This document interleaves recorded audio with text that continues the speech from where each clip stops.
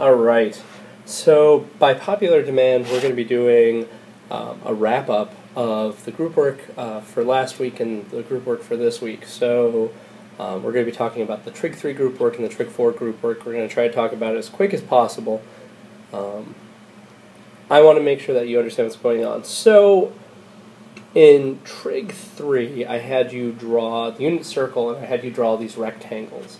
Um, and the reason why I had you draw these rectangles is if we take and we label um, some points here, and so if I label this point and this point, and corresponding this point and this point, you can see that if we connect them, we get this sort of really nice rectangle. And what's really nice about this rectangle is uh, because this line and this line are both um, horizontal, uh, the two points up at the top and the two points down at the bottom actually have the same y values. The ones up top have um, the positive y value, and the ones on, on the bottom have the negative. And uh, because the left and right sides of this are also uh, vertical, what we have are we have the x values are the same for the two right and they're the same for the two left and uh, the right and left points have you know uh, equal but opposite signed x values. And so when you were um, drawing this you should have probably labeled these points x comma y negative x comma y negative x negative y and x negative y. Right, and these would actually have values for each of the angles that I had you work on, but um, the main point was that um, the two at the top have the same y value, the two at the bottom have the same y value. That the ones at the top are whatever the positive value is, and the ones at the bottom are the negative value. Um, and then at the right and the left have the same, and they're equal and opposite.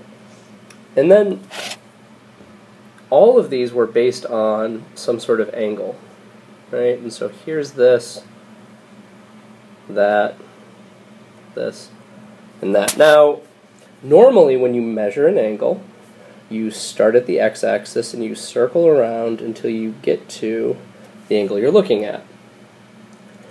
Right, so if we're down here in quadrant 3, normally you would take this theta to be your angle.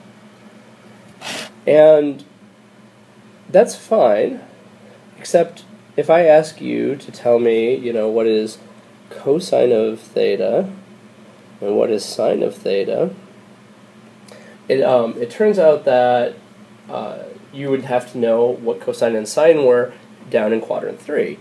And I don't think that's useful. Um, nobody thinks that's useful. It's why we have reference angles. And it turns out that um, you can notice, if you look really close, these four angles that I'm highlighting are all actually the same. Um, they're, they're the angle of inclination above the x-axis or the angle of declination below the x-axis. And so you can see that um, if you if you look at the first quadrant only, right, let's highlight where I want you to be looking. If you look up here, um, that x and y value is being repeated all the way around the circle. The only thing that's different is that um, it's possibly a positive or a negative in front of the x and a positive or a negative in front of the y, depending on which quadrant you're in. So that x and y value corresponds to, if I call, so I've already used theta, so uh, let's use phi as the angle here, this angle. This corresponds to cosine of phi, and y corresponds to sine of phi. And um, really, those those values are good enough to help you find the rest, as long as you know when you're positive and when you're negative. Um, so it's crazy to know it for these big angles when you can just know them in the first quadrant. And uh, how do you how do you figure out what the right one to use? Again, phi, right? The angle we're using um, sort of as the most important angle to us. phi there is just based on how far away from the x-axis you are in all of the other quadrants. So the mantra you want to think about with reference angles, the thing that should be going through your head is that you need to replace the angle you're given with how far away it is from the x-axis, and then fix the sign so it matches.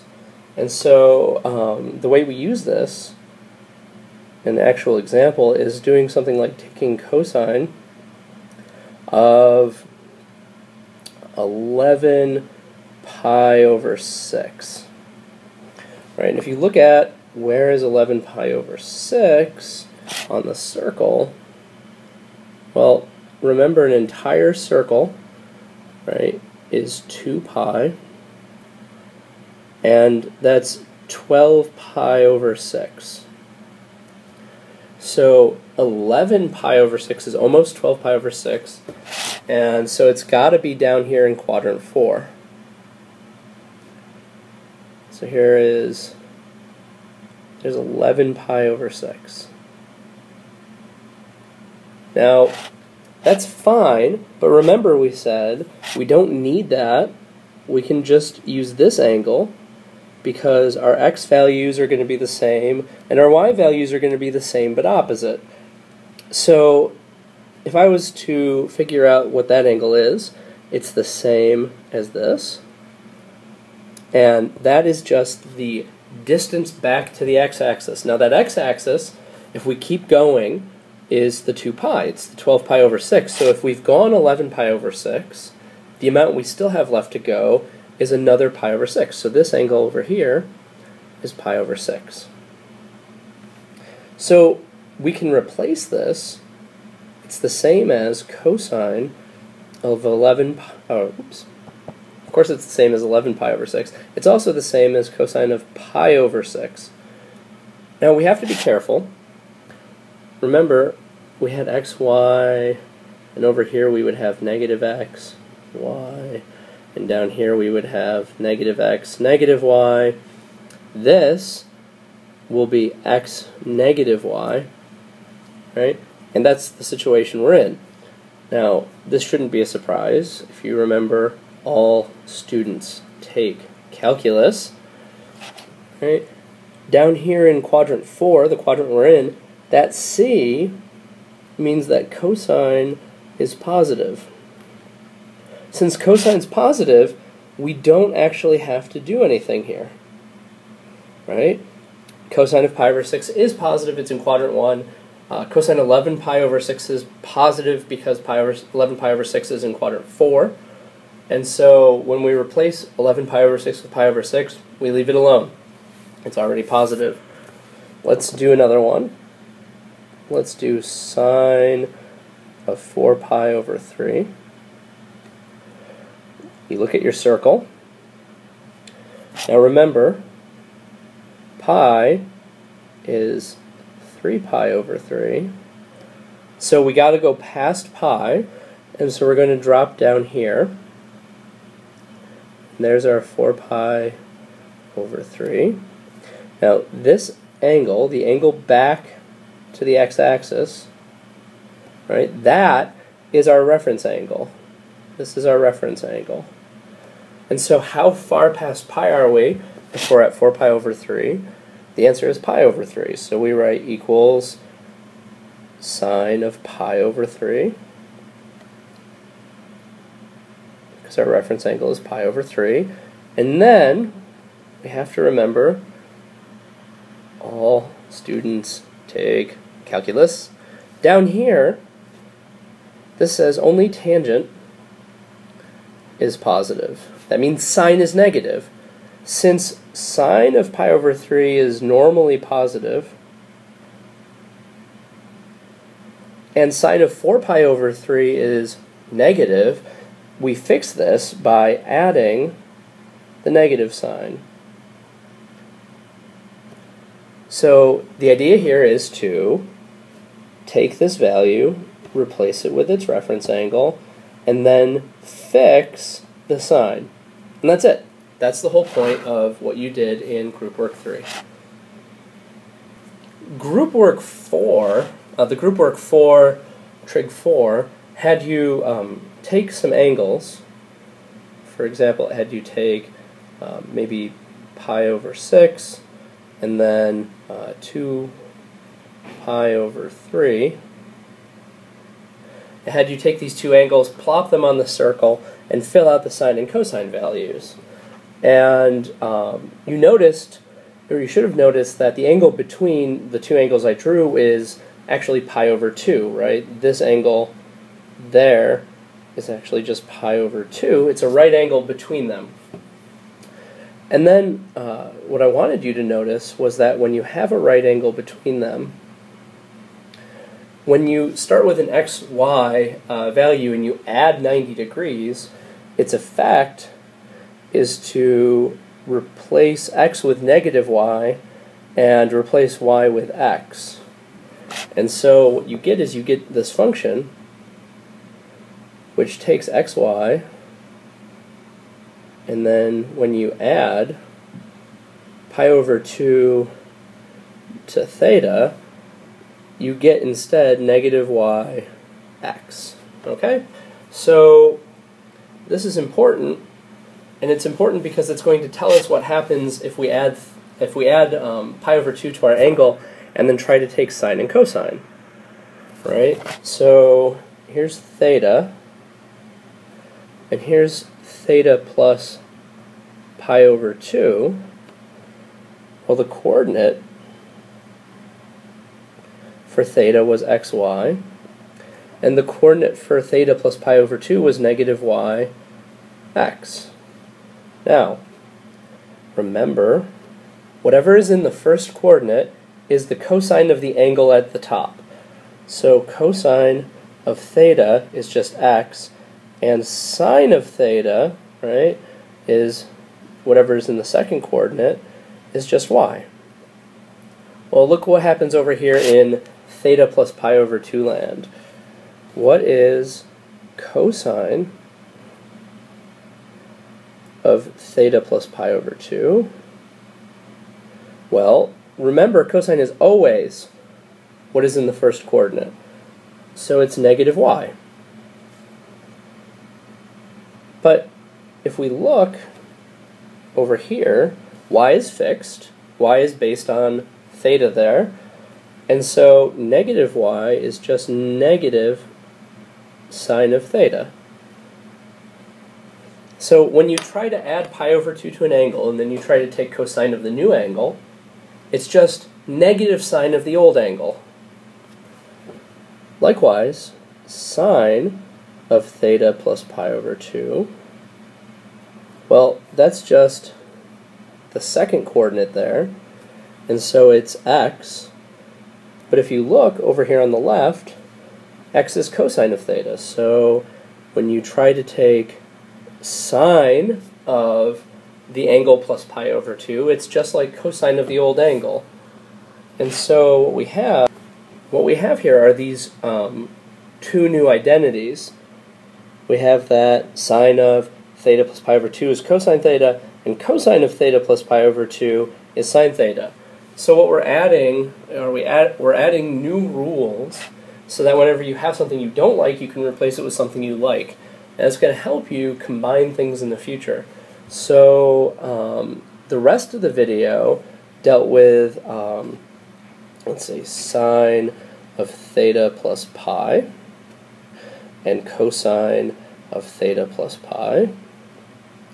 And if we go to a circle, we take an angle and we go through, this is pi. And so if that's theta, this little angle is theta plus pi.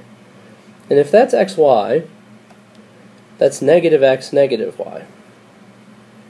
And so what you should have seen um, throughout the group work was that when you add pi to something, it just negates the original value. So cosine of theta was the x value, cosine of theta plus pi is negative the x value, so they just switch.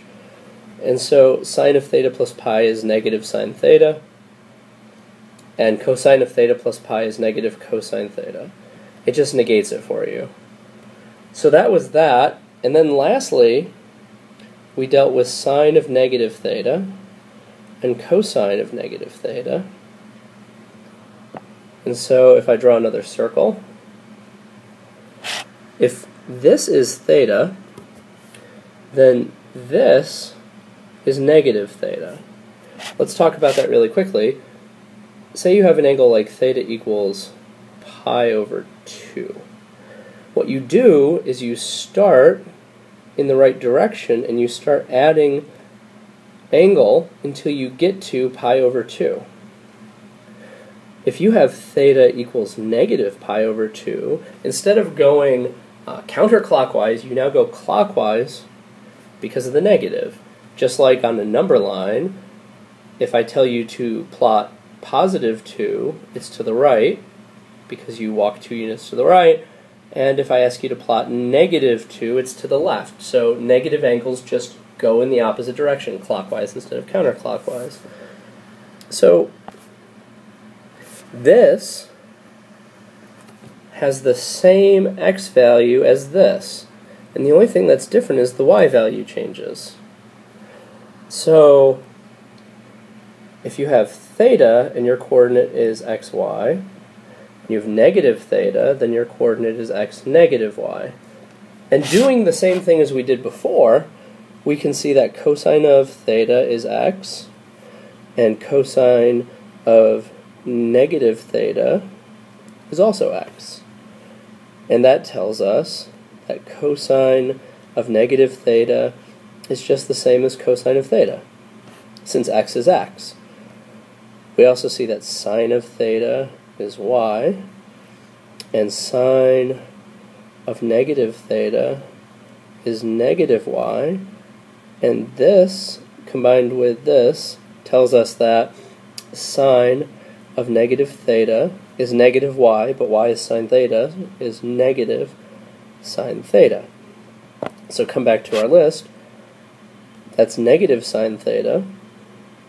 And this is just cosine theta. There's terms for these. Sine and cosine are what we like to call um, odd and even functions. This function is odd, and this function is even. An even function doesn't care when you negate the input, it just gives you the old value. And an odd function uh, takes the, the negation and just waits, does the normal calculation, and then negates it afterwards. And so these are some of the new identities that we came up with. So those were the really, really, really the main points behind the two uh, group work projects. Um, sorry this video wound up being a little bit long, but I wanted to de describe two things in just one video. Um, so go ahead, look at the group work, um, and then I will see you in class.